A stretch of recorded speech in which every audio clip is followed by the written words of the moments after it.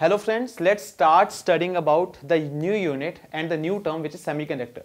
Now, as we have mentioned that this second last unit, solids and semiconductors, which is that property or what is that property which differentiates conductors from insulators? See, I can broadly classify solids into two parts, right? One could be conductors and another one could be insulators. I'm asking you, what is that intrinsic property which separates conductors from insulators? You must be guessing that the conductors conduct electricity, insulators do not. But why? What does insulator do, doesn't have, which conductors have? For example, even conductors and insulators are made up of basic atomic structure or atoms or molecule, right? So why conductors conduct but insulators don't? What is the difference?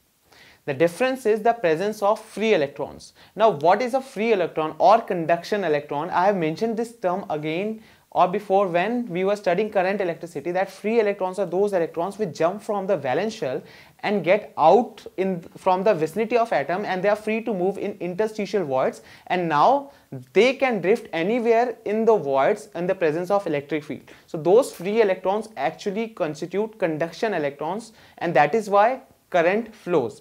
Current is what? Flow of charge. So what is why conductors have free electrons, why insulators don't? To understand this, we are going to study a topic called energy band diagram. Now, energy band diagram, why do we need to study that thing? That is because we have a very small point. See, suppose there is a atom in which there are six valence electrons. So that makes valency 2. Now out of those six electrons, one electron gained energy and jumped out of the atom. So that one electron is now conduction electron because it is going to constitute current. It can move anywhere in the void. But what about those five electrons left in the valence shell? See the atomic stability is at stake now because the atom which was constituting six valence electrons are now is now having only five valence electrons. So there is a fact that valence electrons are shared by more than one atoms when the solid is actually constituted. And this facts give rise give study to the energy band diagram. Let's study it. So the first topic of the chapter would be energy band diagram. For this, we are going to take an example of silicon because later on we are going to declare silicon that this belongs to the category of semiconductors and we have to study detailed about semiconductor only. So silicon has an atomic number of 14. So what would be the configuration? I'm talking about electronic configuration, exactly the chemistry one. This would be 1s2 2s2, 2p6, 3s2 and 3p2, right? 6, 7, 8, 9, 10 plus 4, 14. This would be the configuration of silicon. Now, on this side, I'm drawing the energy level. This would be in electron volts and on this side we have interatomic separation x, okay? This is interatomic distance.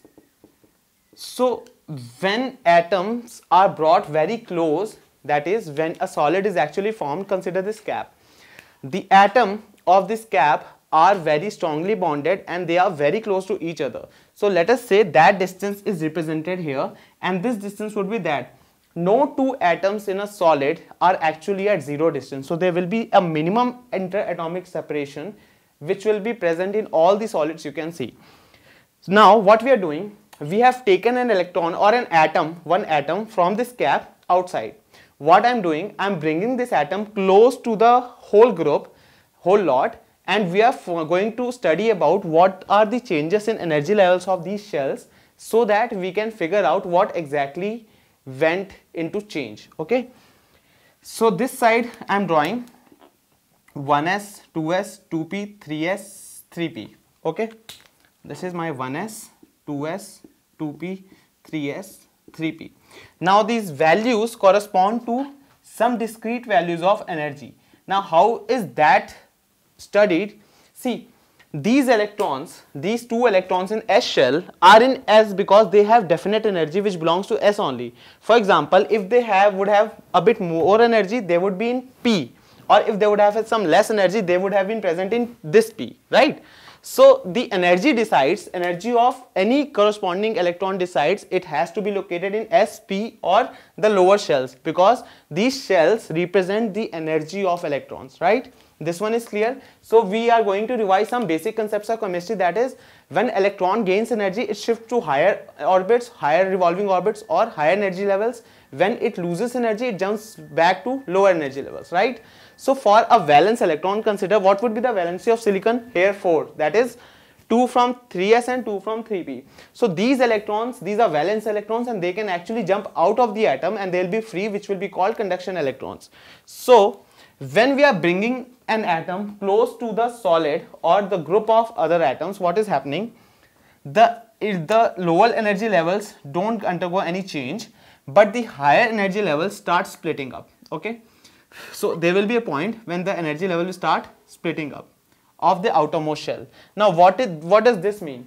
See these two 3s and 3p2 these four electrons when they were when the silicon atom was bring was brought in contact or in close vicinity with rest of the lot what happened? This atom or these outermost electrons they gained energy due to mutual interaction and they got aggravated or they got in higher energy disturbance state. So they start vibrating.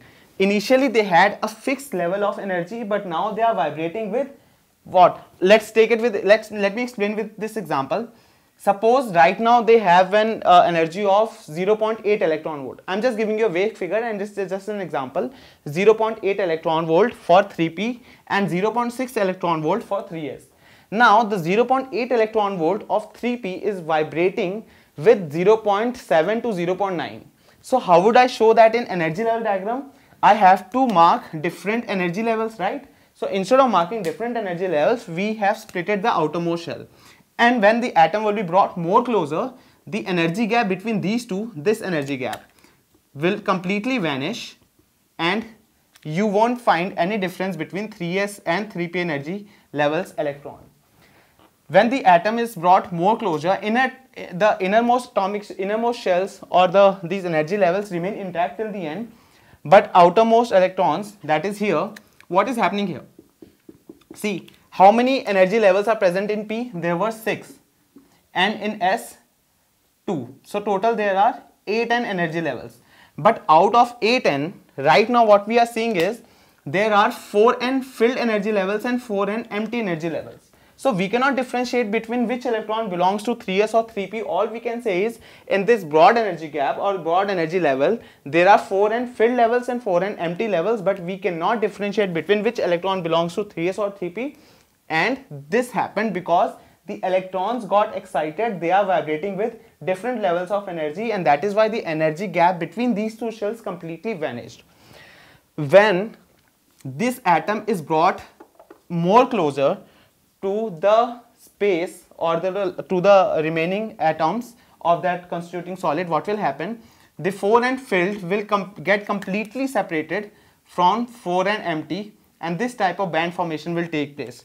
So this is completely empty part that is 4 and empty levels and this is completely filled part. This is called this part or this band.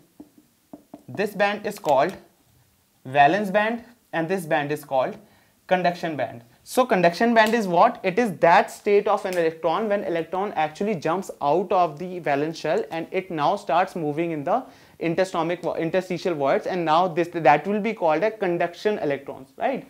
So presence of electron in conduction band validates the electrical conductivity of any solid.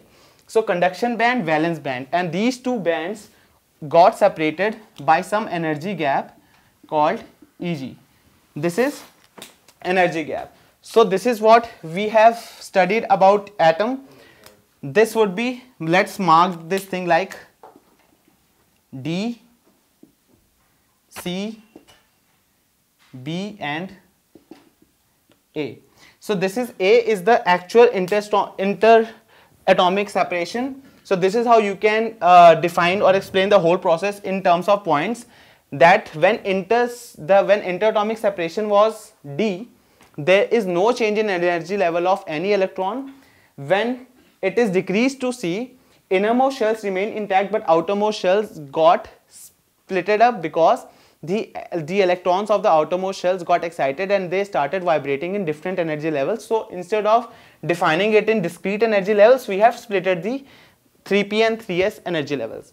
At B point, the gap between 3p and 3s, which gap? The energy gap completely diminishes and we can say that instead of 8 n levels, instead of 4 n filled and 4 n empty levels, there are 8 n different sets of energy level out of which 4 n are filled, 4 n are empty but we cannot differentiate between which electrons belongs to what.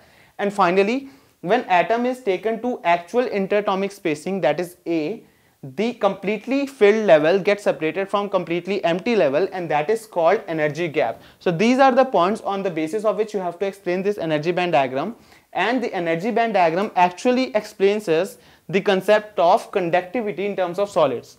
Let, let's go further.